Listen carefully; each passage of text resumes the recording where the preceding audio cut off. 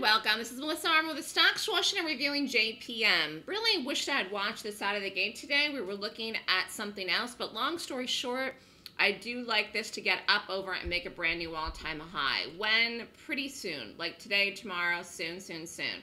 High is 141.10, so over 141, we'll take it up to 142. Well, let's just take here a look at the market, what's happening right now. The market is slightly red today, gap down a little bit. I would not short this market.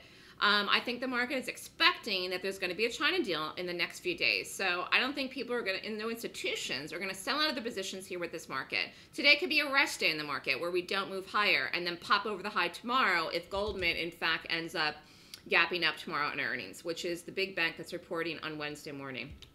But JPM reported today, JPM was up. JPM had a beautiful, huge move up out of the gate. We did a late trade in this in JPM here in the five minutes. Some people got out. Really, 141 was the first target. It got to 140.76. I don't think that this really goes anywhere down um, significantly. Let's just take a look here at this area.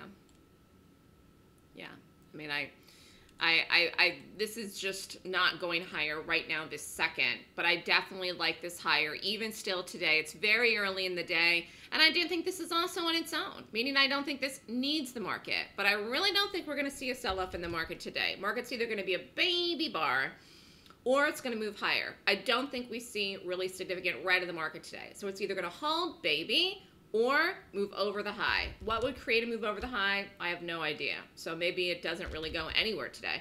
But long story short, JPM is on its own.